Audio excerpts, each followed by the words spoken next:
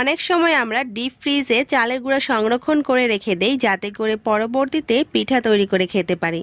কিন্তু চালের গুঁড়া বেশি দিন হয়ে গেলে সেই চালের গুঁড়া দিয়ে আর ভালো পিঠা তৈরি করা সম্ভব হয় না।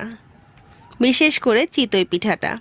তাই আজকের ভিডিওটিতে আমি আপনাদেরকে একটি পদ্ধতি শিখিয়ে দেব, যাতে করে যত পুরানো চালের গুঁড়াই হোক না কেন, চিতই পিঠা হবে পারফেক্ট তো পিঠা তৈরির জন্য এখানে আমি এক কেজি আতপ চাল বা আওলা চালের গুঁড়া নিয়েছি।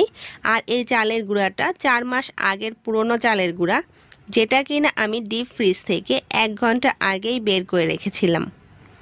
এখন এর মধ্যে আমি এক টেবিল চামচ লবণ দিয়ে লবণটাকে ভালোভাবে চালের গুঁড়ার সাথে মিশিয়ে নিচ্ছি। এখন আমি কুসুম গরম পানি অ্যাড করে থক থকে একটা গোলা তৈরি করে নেব।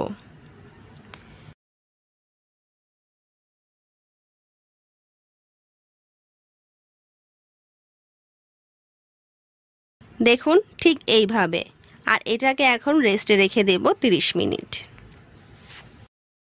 30 মিনিট হয়ে গেছে, এখন গোলাটাকে আমি আবারও কিছুক্ষণ মথে নেব।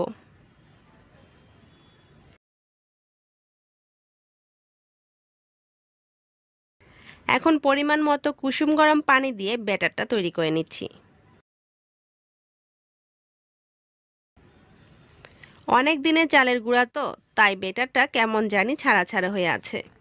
একটা আঠালো যে ভাব হয়, সেটা কিন্তু হয়নি। যাই হোক, প্রথম পিঠাটা বানিয়ে দেখি যে কেমন হয়। দেখুন, ব্যাটারের থিকনেসটা কিন্তু এই রকম হবে। এখন আমি এই ব্যাটার দিয়ে পিঠা তৈরি করে দেখাচ্ছি। এর জন্য প্রথমে খোলাটাকে ভালোভাবে চার পাঁচ মিনিট মিডিয়াম হাই ফ্লেমে গরম করে নেব। খোলাটা গরম হয়ে আসলে আমি এর মধ্যে প্রায় আধা কাপ পরিমাণ ব্যাটার দিয়ে দিচ্ছি।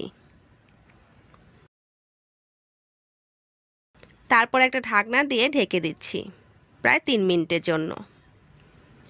তিন মিনিট পর আমি ঢাকনাটা খুলে পিঠাটা তুলে নিচ্ছি। দেখতেই পাচ্ছেন পিঠাটা কিন্তু একদমই ফুলে নাই, আবার মাঝখান দিয়েও কাঁচা রয়ে গেছে। যাই হোক, প্রথম পিঠা এমন হতেও পারে। তাই আমি আরও কয়েকটা পিঠা বানালাম, কিন্তু পিঠাগুলোর একই অবস্থা রয়ে গেল। তো এই অবস্থা হলে আপনারা কি করবেন বলে দিচ্ছি।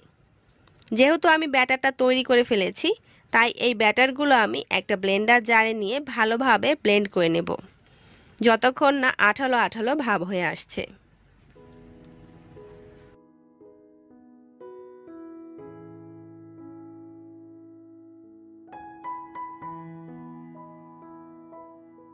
দেখুন, এখন এই ব্যাটারটা পারফেক্ট চিতই পিঠার জন্য একেবারেই রেডি আপনাদের যাদের কাছে ব্লেন্ডার নেই, তারা 30 মিনিট ভেজানোর পরেই পাটা ভালো করে গোলাটাকে মিহি করে বেটে নেবেন। তারপর হালকা কুসুম গরম পানি দিয়ে ব্যাটার তৈরি করে নেবেন। তো এখন আপনাদেরকে এই ব্যাটারটা দিয়ে আমি চিতই পিঠা তৈরি করে দেখাবো। এর জন্য গরম খোলাতে আমি আবারও আধা কাপ চিতই পিঠার ব্যাটার দিয়ে দিচ্ছি। তারপর ঢাকনা দিয়ে ঢেকে অপেক্ষা করছি তিন থেকে সাড়ে তিন মিনিটের মতো। দেখুন কি সুন্দর ফুলকো চিতই পিঠা তৈরি হয়েছে। এখন এটাকে আমি খোলা থেকে তুলে নিচ্ছি।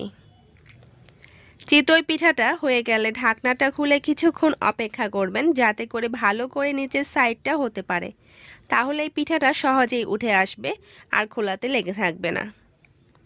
এখন আমি আরেকটি পিঠা তৈরি করে দেখাচ্ছি।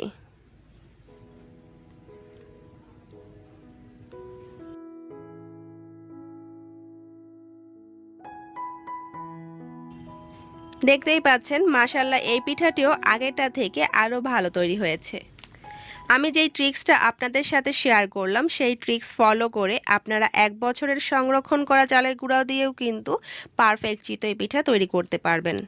আমি আজকে গরুর মাংসের ভুনা দিয়ে চিতই পিঠাগুলো পরিবেশন করেছি।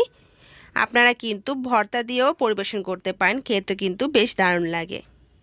আমি একটা পিঠা আপনাদেরকে ভেঙে দেখাচ্ছি যে ভেতর দিক থেকে কেমন হয়েছে। দেখতেই পাচ্ছেন কি সুন্দর হয়েছে। তো আশা করি আমার আজকের ভিডিওটি আপনাদের একটু হলেও কাজে আসবে। আজকে তবে এই পর্যন্তই। সবাই ভালো থাকবেন। আল্লাহ হাফেজ।